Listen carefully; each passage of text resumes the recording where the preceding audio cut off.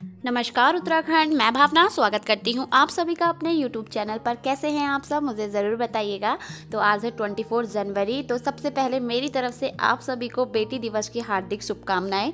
मैंने तो आपको विश कर लिया अब आपकी बारी है मुझे विश करने की। तो टाइम जो है ना दिन का एक बज के पैंतालीस मिनट हो गया और मैं भाभी के वहाँ पर आई हूँ। और आज मैं और भाभी मिलकर बना रहे हैं ब्रेड पकौड़ा।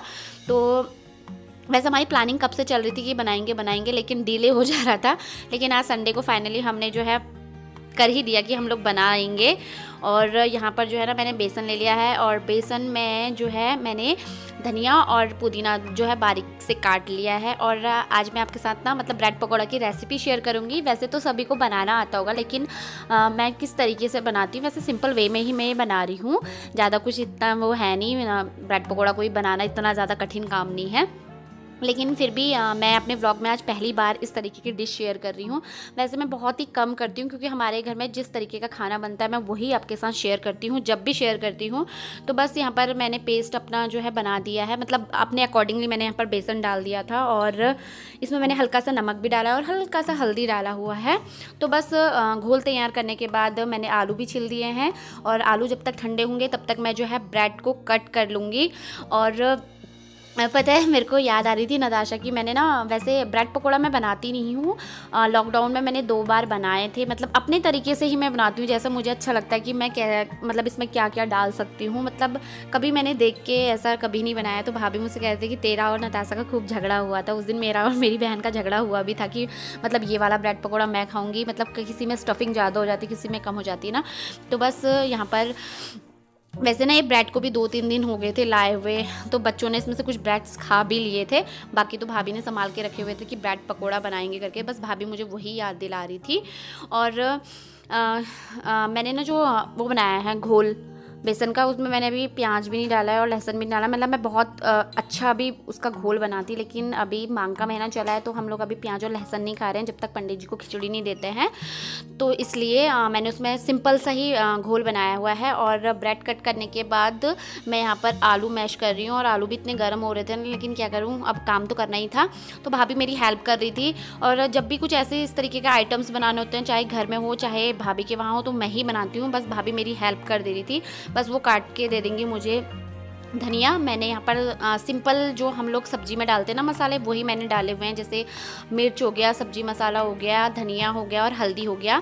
बस अब यहाँ पर जो है मैं धनिया को भी अच्छे से मैश कर लूँगी और जो नमक है ना वो लास्ट में डालूँगी क्योंकि आपको पता है नमक जो है ना पानी छोड़ जाए इस वजह से।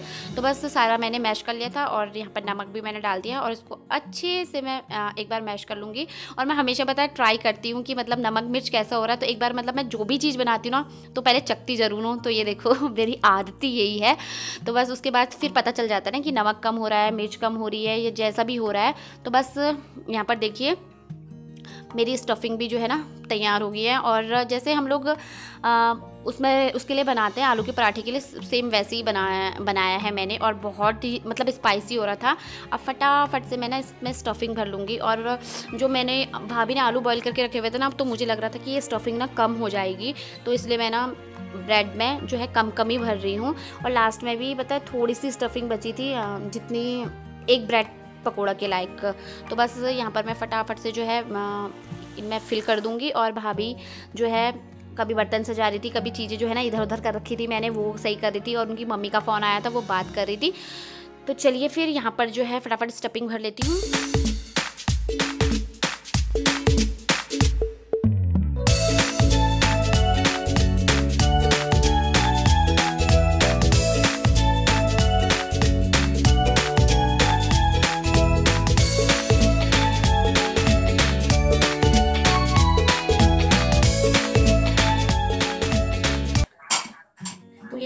भर दी है स्टफिंग अब इसको हम डिप करेंगे बेसन के घोल में। तो ये है मेरा बेसन का। देखिए। तो बस यहाँ पर सब कुछ रेडी करने के बाद मैं जो है ब्रेड पकौड़ा तलने भी लग गई थी और एक ब्रेड पकौड़ा ना मैंने तल भी दिया था और दूसरा मैं आपको यहाँ पर दिखा रही हूँ कि देखो मैंने कितने अच्छे से जो है ब्रेड पकौड़ा तल दिया है और सच में बहुत अच्छे तरीके से मुझसे बन रहे थे और क्योंकि इनमें टाइम लगता है, वैसे भी पता है पंद्रह या सोलह ब्रेड पकौड़े थे जो मुझे तलने थे और काफ़ी सारा टाइम इसमें लग भी गया था और वैष्णवी और जिज्ञासा को हमने ना पता है बाहर भेज रखा था स्टार्टिंग से ही क्योंकि वो लोग ना किचन में काम करने नहीं देते हैं, फिर भी बीच में जिज्ञासा आ गई थी।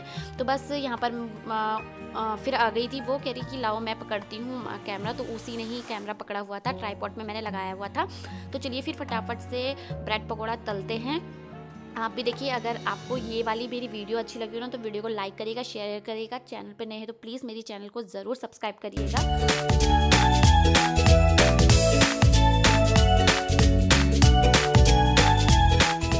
बस यहाँ पर मैंने सारे ब्रेड पकोड़े तल दिए थे और भाभी का काम हो गया था बांटने का शुरू क्योंकि चाची के वहाँ भी देना था हमारे घर में भी देना था और अगल बगल के हमारे पड़ोसी भी रहते हैं तो उनको भी देना था। और थोड़ा सा जो मेरा घोल बच गया था ना उससे मैंने बना दिया थे पकौड़ी। ज़्यादा नहीं बस इतनी बनी थी और एक तरफ़ से चाय भी चढ़ा दी है क्योंकि अब हम चाय पकौड़ी और ब्रेड पकौड़ा खाएँगे।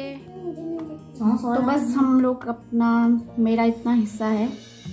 दो ब्रेड पकौड़ा और पकौड़ी। और टमाटर सॉस और चाय। तो आइए, आप भी खाइए। तो ये लीजिए।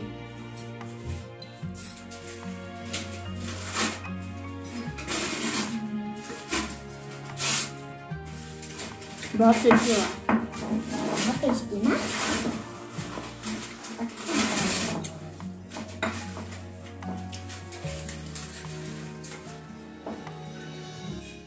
बस यहाँ पर मैं और जिज्ञासा खाने लगे थे क्योंकि मुझे तो भूख लग गई थी तो मेरा तो सिर्फ़ बनाने का काम था। बनाने का और खाने का बस यहाँ पर मैं फटाफट से खाऊँगी और उसके बाद से जितने भी बर्तन वगैरह यहाँ पर जितना भी मैंने गंदा वगैरह करके ना वो सब भाभी साफ़ करेगी और बर्तन वगैरह धोएगी फिर मैं चले जाऊँगी अपने घर।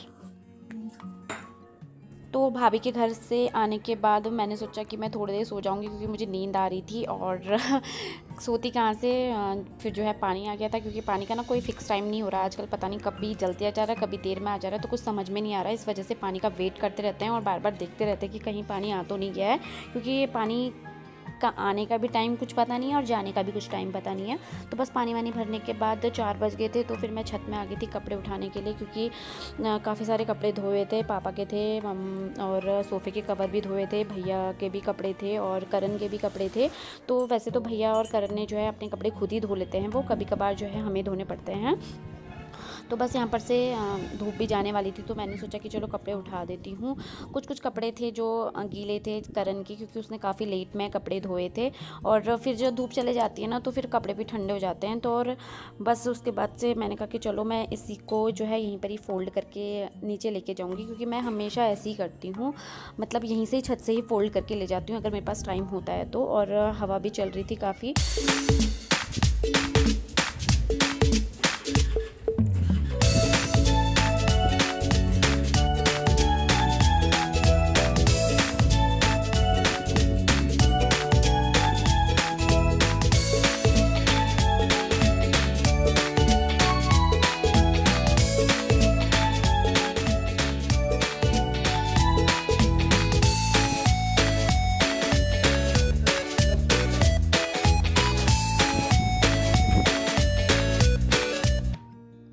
तो पापा के कपड़े रखने के बाद मतलब सबके कपड़े रखने के बाद मैं आ गई थी टीवी वाले रूम पे। हमारा सोफ़ा जो है यहीं लगा हुआ है और ये हमारा काफ़ी छोटा कमरा है। मतलब यहाँ पे सिर्फ़ सोफ़ा और टेबल वगैरह ही आती है। इससे मतलब एक्स्ट्रा और कुछ यहाँ पर नहीं आ सकता। और पता है, मैं हमेशा मतलब जब भी सोफ़े के कवर अगर मुझे लगाने होते हैं ना तो मेरे लिए बहुत डिफ़िकल्ट काम है ये। क्योंकि ना मैं हमेशा कन्फ्यूज़ हो जाती हूँ कि कौन सा ऊपर का है पार्ट है, कौन सा नीचे का पार्ट है। तो आप मुझे यहाँ पर देख भी रहे होंगे ना, मैं मतलब कभी ऊपर कर रही हूँ मतलब कभी वाला उठा रही हूँ, कभी वाला उठा रही हूँ। मैं ना कंफ्यूज हो जाती हूँ कि किस तरीके से ये लगाया जाता है? क्योंकि मैं इस तरीके काम बहुत ही कम करती हूँ। मैं हमेशा ज़्यादातर किचन में ही रहती थी। मतलब इस तरीके का काम जो है ना, नताशा करती थी। तो देखो, मैंने पहले ऊपर का लगा रही थी, फिर वो निकाल के अभी मैं नीचे को लगा रही हूँ। क्योंकि मैंने सोचा कि पहले नीचे का लगाती हूँ, क्योंकि अच्छे तरीके से मुझे कोने कोने दबाने होते हैं। और जो हमारा ये सोफ़े का कवर है ना, वो हमारे सोफ़े से थोड़ा सा बड़ा है तो साइड साइड से ना इस तरीके से फोल्ड करना पड़ता है, तब जाके फिट बैठता है। बस ये बड़े वाले सोफ़े में ही के लिए बड़ा होता है। और जो दो अलग अलग जो सिंगल सिंगल सोफ़े हैं, उसमें नहीं लगता है। तो देखो, इस तरीके से ना हमें थोड़ा थोड़ा दबाना पड़ता है ये साइड साइड से। तो बस ये वाला तो मेरा हो गया है और यहाँ पर कंबल भी मैं रख दे रही हूँ क्योंकि पापा शाम को काफ़ी देर तक टीवी देखते हैं। तो देखो, फिर भी मैं कन्फ्यूज़ हो गई हूँ। मतलब ऐसा नहीं है कि मुझे नहीं आता है बट ना मैं भूल जाती हूँ कि कौन सा ऊपर का पार्ट है, कौन सा नीचे का पार्ट है। तो बड़ी मशक्क़त के बाद मतलब सोफ़े के कवर को उल्टा, पुल्टा करने के बाद मैंने यहाँ पर फाइनली लगा ही दिए हैं। तो पता, मुझे इस तरीके का काम करना बिल्कुल भी अच्छा नहीं लगता यार। भले ही तुम मुझसे ना किचन में के कितने भी काम करवा लो, मैं वो कर लूँगी। तो चलिए फिर अब शाम को खाने की तैयारी भी करते हैं और वीडियोस का यहाँ पर भी एंड कर देते हैं। तो नौ दस मिनट की तो हो गई है मेरी वीडियो और मिलते हैं आपसे एक नए ब्लॉग में। तब तक के लिए बाय